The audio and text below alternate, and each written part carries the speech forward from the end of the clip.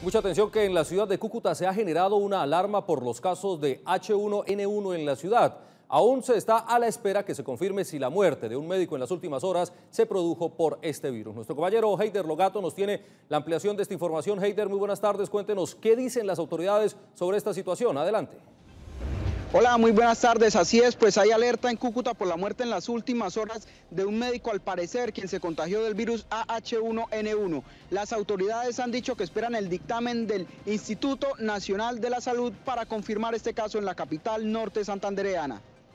Por otra parte, el gerente del Hospital Universitario Erasmo Meos de Cúcuta informó que están atendiendo a un adulto y a dos niños confirmados con AH1N1, uno venezolano y el otro colombiano. Eh, se le hizo el diagnóstico dentro de nuestra institución con PCR molecular, salió positivo para H1N1, se enviaron las muestras al Instituto Departamental y eh, el Instituto reportó que había sido confirmado ese caso. Eh, la epidemióloga me comentó también que tenemos dos niños en la unidad de cuidados intensivos, uno venezolano y uno colombiano, ya confirmados también con esta enfermedad respiratoria.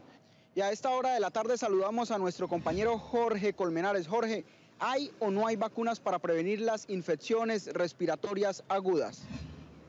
Hola Heider, buenas tardes, amable teleaudiencia. Pues le comento que alarmantemente no existen vacunas contra la influenza, que es la que trae una cepa contra el H1N1, esta mortal complicación respiratoria. Alarmante. Con la situación viral de la ciudad y no hay vacunas contra la influenza, al menos en el punto de vacunación de la terminal de pasajeros de Cúcuta. Vengo a vacunarme aquí en el terminal para, lo, para la gripa que hay y es imposible que aquí no hay para adultos, dice que hay para al menos niños. Los pasajeros llegan de todas partes, saben de los virus que reaparecieron en la ciudad, como esta pareja procedente de Valencia, en Venezuela. Es interesante porque cuando pasamos la parte de la frontera no se, ha, no, se no se recibió información al respecto, ¿verdad? Que es lo importante. O ella, quien llegó esta mañana de Bucaramanga. ¿Sabe usted de los virus que se están presentando? Sí, por ahí escuché y la verdad estoy preocupada. ¿Por qué? Porque se están expandiendo según creo y pues nos preocupa a todos. La situación amerita el envío extraordinario de vacunas. Pues esa grande razón es la situación que se vive en Cúcuta, precisamente ante la tensa calma que han generado los últimos hechos de virus de H1N1. Heider, buenas tardes.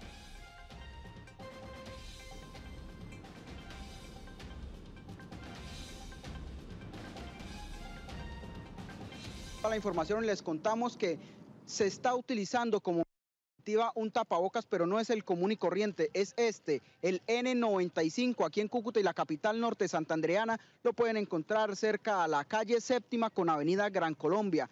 Cuesta 4 mil pesos y es lo que hoy en día están utilizando los cucuteños para prevenir el contagio de la AH1N1. Compañeros, esta es toda la información que registramos desde el norte de Santander. Continúen ustedes con más de Oriente Noticias. Muy buenas tardes. Canaltro.com